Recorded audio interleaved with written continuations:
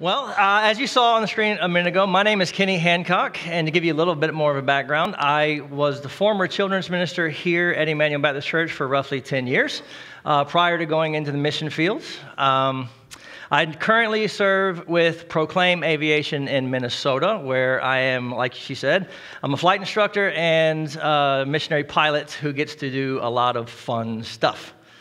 Um, I cannot thank you enough, this church. You guys have been such a blessing to me and my family. Uh, the financial support that you give is just a small portion, and that's not because you give a small amount. It is because what we value more than your finances that help us out is we value your prayers and we absolutely value your communication with others and tell the story of what missionaries do. Now, I traveled all the way from the great state of Minnesota, very loose term. Um, and I came back down to warmer weather, and most of the people in the room right now, you know me. I actually thought about wearing my shorts today, but I did not want to do that to you guys. So, um, I have never been, honestly, this pale in my life. Uh, about four days ago, I got an inch and a half of snow on my front doorstep. And the guy who's taking care of our home while we're away sent me a picture. And he said, I hope you're enjoying the weather. And I said, You can just send me my stuff. I'm not coming back. Um, but uh, we do enjoy doing the work that we do. We do love, uh, tra- I love training. I love training the pilots that I get to train, and there's an emphasis, a heavy emphasis on missionary work when I actually do get the opportunity to share the gospel with those who I fly with. Usually that turns out like this we get about 5,000 feet in the air, I turn the engine off and go, Do you know Jesus? um, obviously, it hasn't worked yet. Um, so, no, but. Uh, I would love to sit up here and tell you, and I would love to stay and chat all about the mission opportunities that we do. I'd love to give you an update on Africa, and all you guys who are dear friends of mine know that I cannot wait to share those things with you, but that's not the purpose of today. We are in the Advent season, and it is one of my favorite times of year, and I get the opportunity to speak to you in the continuation of the Advent series here at Emmanuel. Um, but before I go any further, I do want to say this. Um, if I say anything or I do anything to step on toes, or I offend you in any way, shape, or form, you absolutely have the opportunity to email me and ask questions, and my email's on the board in just a second. So, what I want you to do, uh, email often, email often, email late. Um, he'll, uh, he'll get it to me eventually. So, uh, in the Advent season, you guys have been through a series, and um, just so you are aware, um, this is my home. Florida is my home. This church is my home. I love everyone dearly who attend this church. And um, so we have our own church that we do attend in Minnesota. Uh, that's probably a good thing to know since I'm a missionary. But um, we also listen to the sermons here, the 9:30 that Kyle does and everything. And, and so I want to just give a little bit of a prop, a little bit of shout out. Kyle was amazing the other day. Michael's sermon was spot on, and John Seth was awesome. And I love hearing the gospel being preached from my home church. I love the fact that the gospel is shared with a community that absolutely needs it. And I'm not just saying that because I've lived here for so long. I, everywhere needs the gospel. Everywhere we go needs the love of God. And uh, everywhere we go needs Jesus. And that's what we're going to talk about today. And so you heard Michael talk about hope. You heard Kyle preach on peace and John Seth on joy. And I get the opportunity to teach you today about one of what I think is the culmination of all those things love. Today's title of the sermon is Love Has a Name. And the thing is, is love is one of those things, like I said, that binds all those together. Because I do believe that the love of God that Scripture shows us is, you, well, let me I'll say it this way: you can't have the hope that Michael talked about. You cannot have the peace that Kyle spoke on. And you absolutely cannot have the joy that John Seth spoke on if you do not have the true love of God. Joy that comes from God is different than the joy that we experience in the world. Okay? So I believe that love, what you know, that what the God of love that we everybody talks about, the God of love and all those things that ties all those together. So if God does not love, there's no hope. And again, can you imagine a world without love? I mean, even in a world right now where we as Christians exist and do our best to exude, uh, exhume the love and just show love to the entire world, we are not getting too much of a sense of that these days, are we? I mean, we try to make an impact, and I honestly do not like watching TV anymore. It is heartbreaking to know that people like me exist, people like you exist who know the love of God, yet we still see the downturn of society and we still see the downturn of our world, and it is starting to get a little frightening to some of us. If you don't know where your hope lies, you don't know where your peace is or your joy, most of us would be frightened to even walk out of our door some days. I live in an area now that is so close to things that are heartbreaking to see that some people are scared to leave their home. But in a world that doesn't show so much love right now, we do get a little glimpse of what the world sees love as. So before we get to talking about what biblical love is, let's talk about what love is not. It is not a Hallmark movie. How many of you guys have seen some of those, sorry, things on, on, on TV right now? You know, the girl who's, you know, the hard pressed lady who's got her career and falls in love with a lumberjack with a plaid shirt and smiley teeth. I've never seen a lumberjack that looks like that, and I know a couple. Love is not a feeling, okay? Love is not that feeling that we get, that all inspiring, He's the love of my life. It is not what it's about. It is not this feeling that we get towards one another or towards things, and if it is not controlled by those feelings. We hear the world tell us a lot uh, follow your heart. Do what your heart tells you. Let me tell you what the Bible says about our heart. Jeremiah 17 9. The heart is deceitful above all things and desperately sick. Who can understand it? So we use the word love flippantly. We, we, we, we say things, we say we love things flippantly. I have a really nice pen that I wrote this sermon with. I love that pen. It's a great pen, makes a really good click. I love my car. My car is awesome, especially in Minnesota when the heat's on. I love my wife's toaster is amazing. I, I, like to use a Shark Tank analogy kind of for this. If you were standing next to a Shark Tank full of hungry sharks, it is feeding time, and my favorite pin falls into that Shark Tank. Am I going after that pin? That is absolutely not going to happen, and that's not love. So the world tells us and, and shows us things that aren't really true love. It's a feeling. Sometimes those feelings, just like in our scripture, can lead us to things that we don't want to be involved in. Sometimes it's relationships that go south really, really fast because it was based on that deceitful nature of our heart. So that's not the like that's not the type of love that I see in scripture.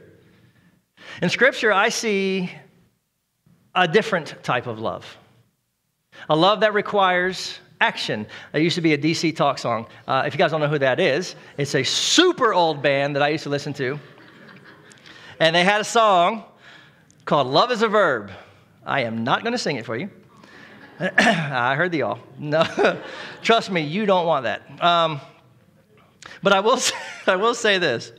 Um, there's a, there's a quote that one of uh, pastors that I like to listen to says, and this is how he described it. Uh, pastor by the name of Voddie Baucham, he says this Love is the act of the will and is first and foremost by choice.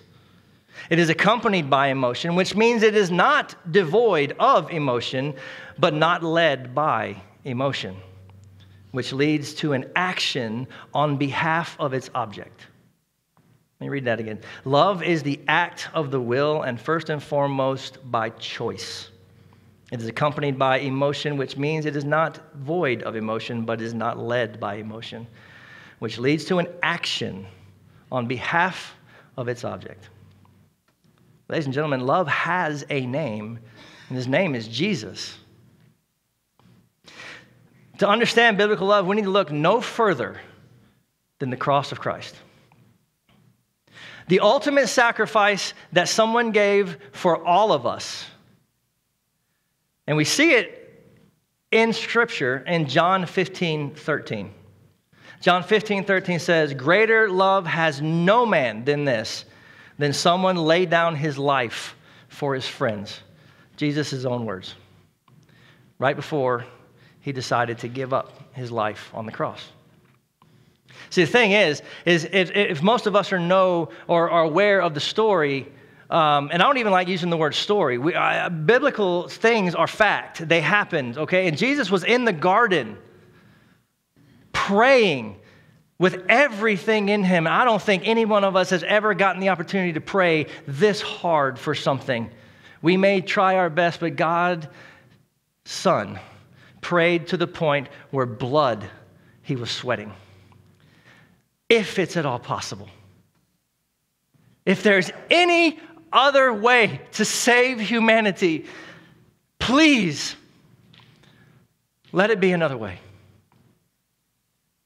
Ladies and gentlemen, the cross was a horrific scene, and he knew what he was facing. Yet, the last part of his prayer Nevertheless, your will, not mine.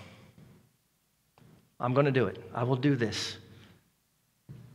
And he did it for you and me. We often like to dwell on God's love alone. Uh, we, you've heard people say, you know, uh, God is love. You know, it's usually on a pamphlet they give you at the airport. Here, you throw this away. Um, but we can't think of God's love without thinking of some of his other attributes that go along with that. Okay?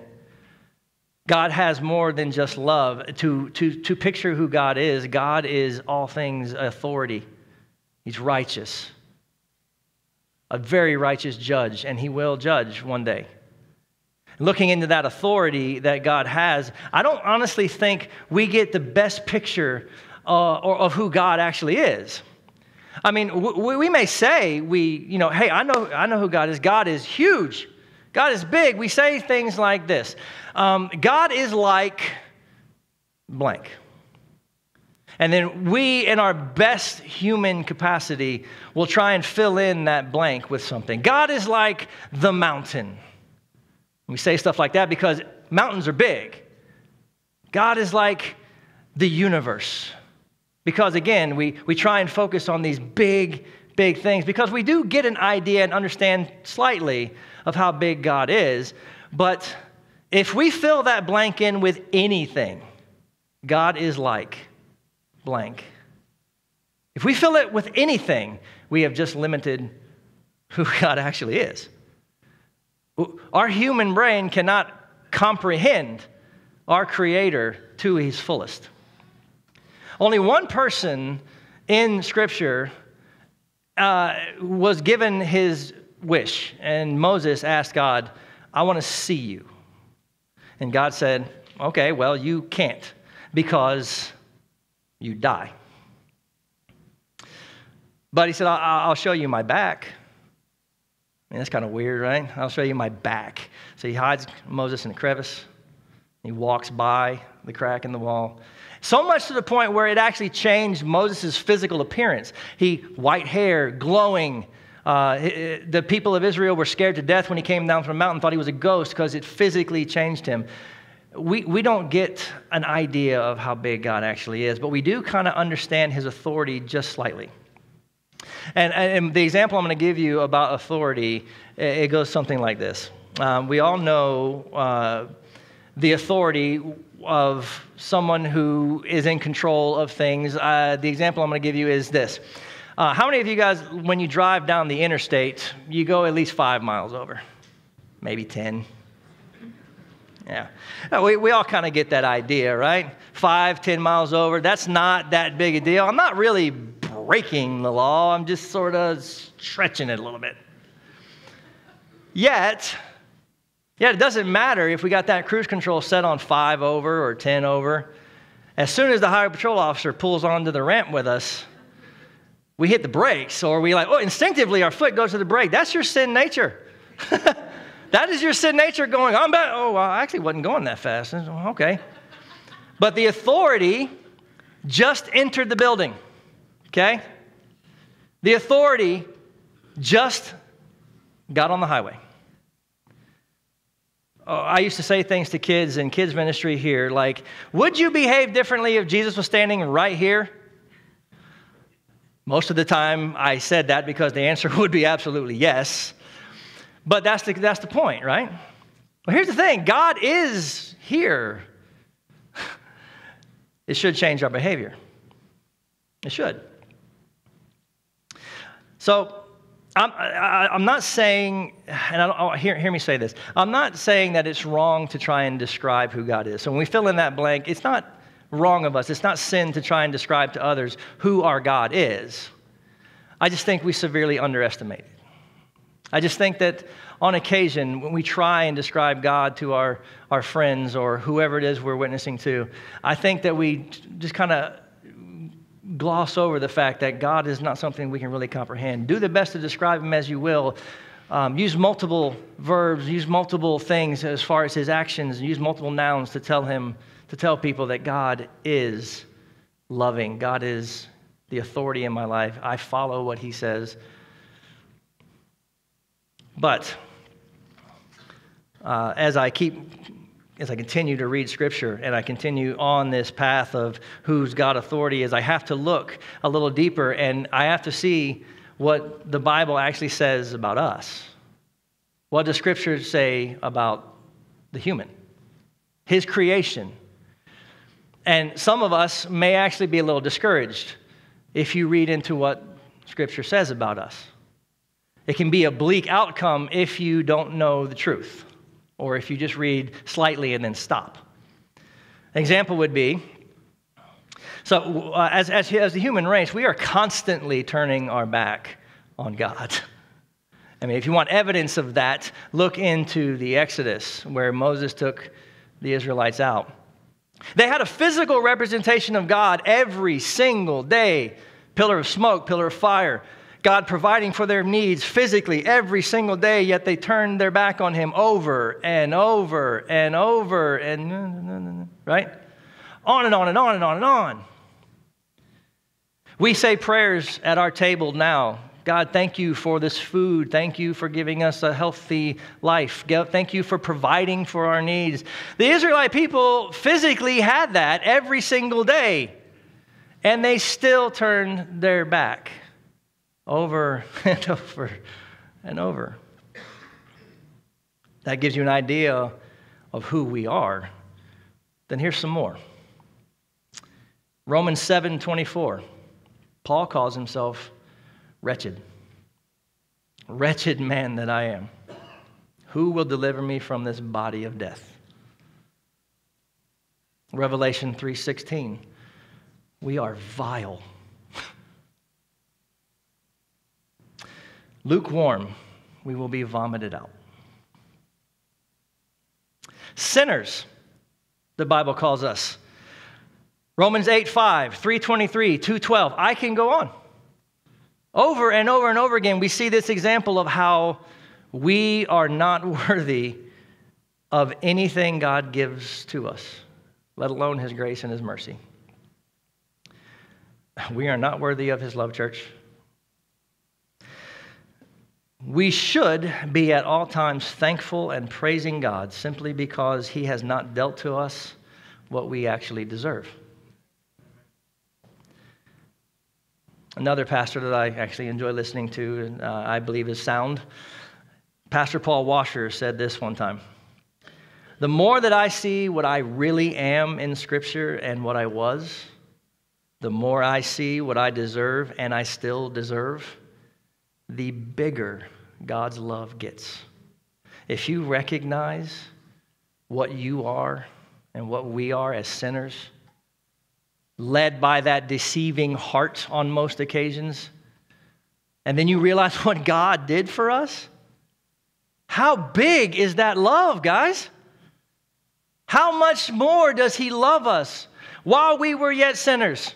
While we were yet sinning, Christ died for us. Some of you have heard other people say, and I've heard this myself. So maybe you haven't, but I'm going to let you in on a secret. Some people have said, if God loves us so much, why would God send people to hell? If God loves us so much, if God is love, why would God send people to hell? I'm just going to clarify some of that statement and just give you a little bit of an answer, and this is the best way I can answer that. God is not sending you to hell, you're already on your way there. The human race is already on a path to hell. You're going. And unless Jesus is there and you accept our Lord and Savior, believe on Him that He died on the cross, that's where you're going. God's not sending you anywhere. My job then turns from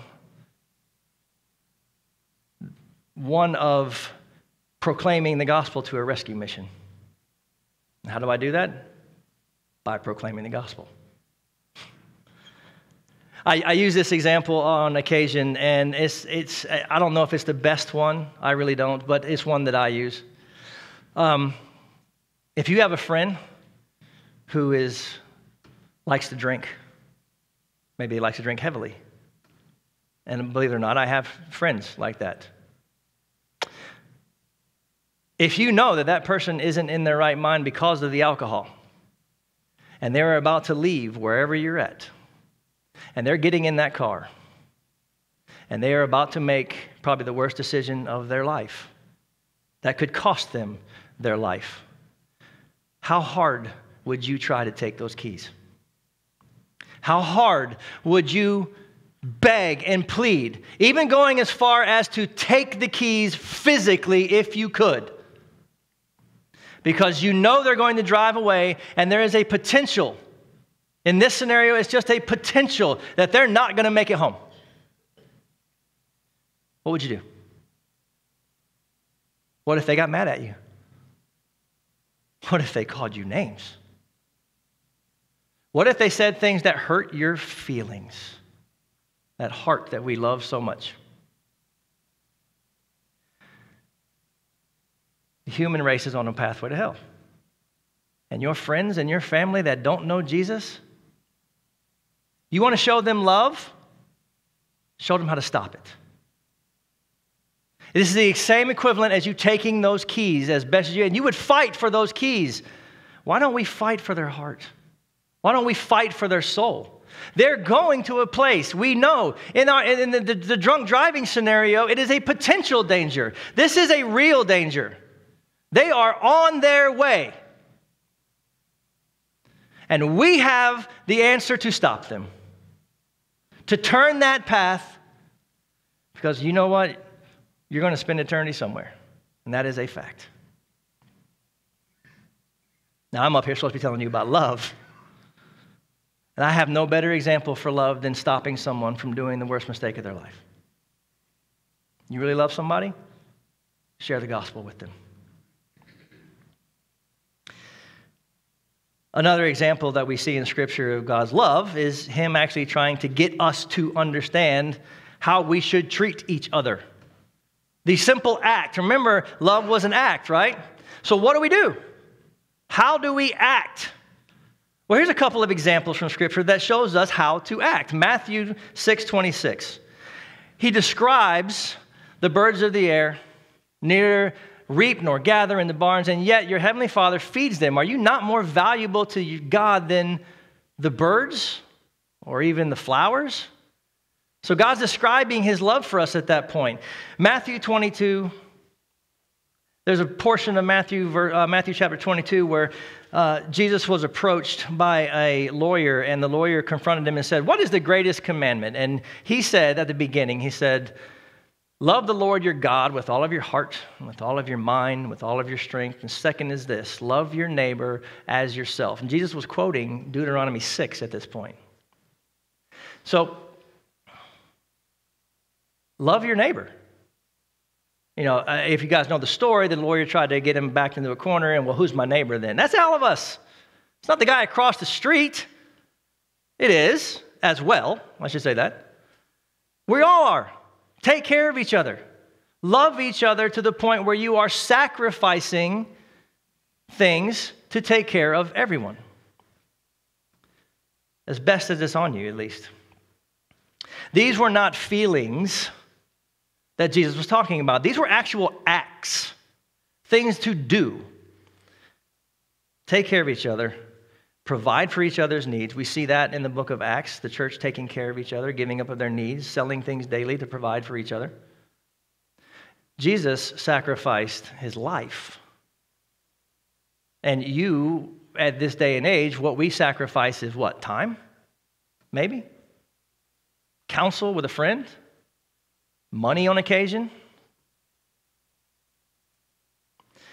So I was uh, speaking toward that in the relationship aspect. I actually was uh, able to be a part of and also attend a wedding two different weddings. My brother uh, Clay just got married last, not this, not yesterday, but last Saturday. I was in that wedding, uh, and yesterday I got to attend Emma Chrisman's wedding. Both beautiful weddings. Um, but what an example of God's love that is marriage. It can be, and it should be. The joining of two lives into one life so that others may see the glory and the love of God. And I believe that's what marriage actually is.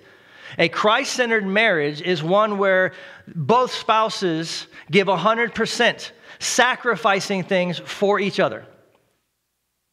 And ultimately, if that's the case, and you are sacrificing one for another because you are that one flesh, the world sees God.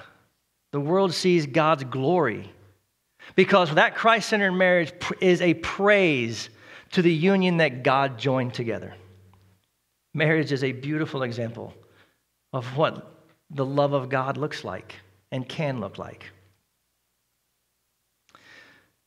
So, you, you guys have heard it said, uh, I don't know if you guys are familiar with the love languages. You guys heard those, that statement before?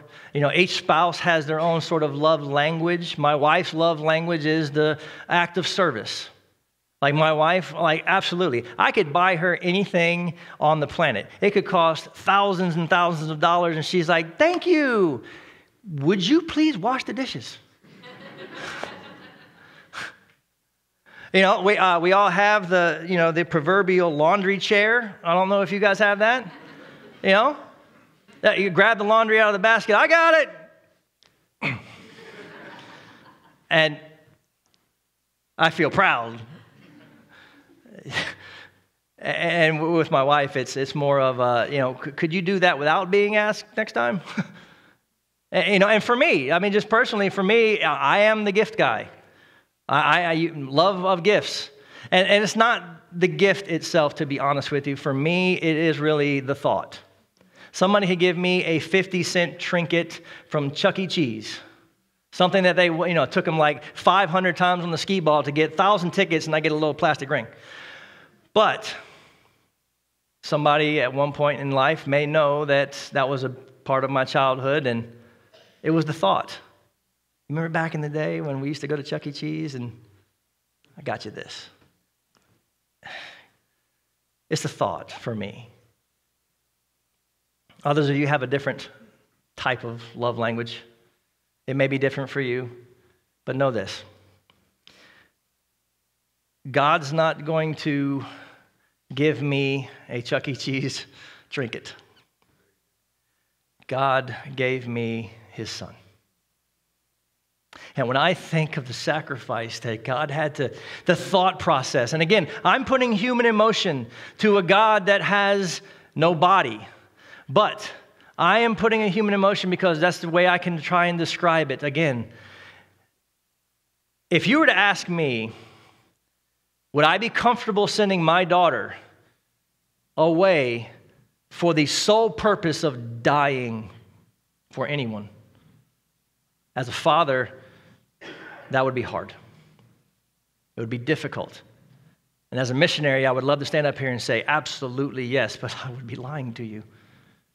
My kids mean more to me than, quite frankly, almost anything on this planet. Yet God chose his son for one purpose and one purpose only to pay for all of us, to ransom for the sin that we commit and will continue to commit because we are human beings. And he willingly sent his son to do something unthinkable, to pay a price we could never pay. That's love. I'm reminded at this time of year about the Israelites in darkness. I'm reminded of the darkness that the world was in before God sent his son and his only son to be the light to outshine all other lights, to bring a hope to the world that was in silence, to bring peace to a people and a world in turmoil and unrest, to give joy to those whose smiles had faded and whose hearts had grown saddened by the hundreds of years of silence. And the love that God showed us by choosing to pay a price for our sins that we could not pay. I'll end with this. John 15, 13 again. Greater love has no man than someone that laid down his life for his friends. Let's pray. Heavenly Father, we just thank you so much for this season of Advent, for this season where you sent your Son for all of us.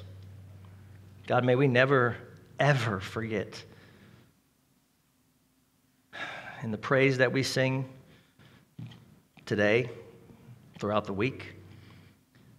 May you be at the forefront of our thoughts. May you be the one who guides our thoughts, that guides our actions to show a dying and lost world the love that you so desperately want us to know. God, we love you. We praise you for all the sacrifice. We praise you for everything that your son did for us and what we stands for. May we accept him. In your name we pray. Amen.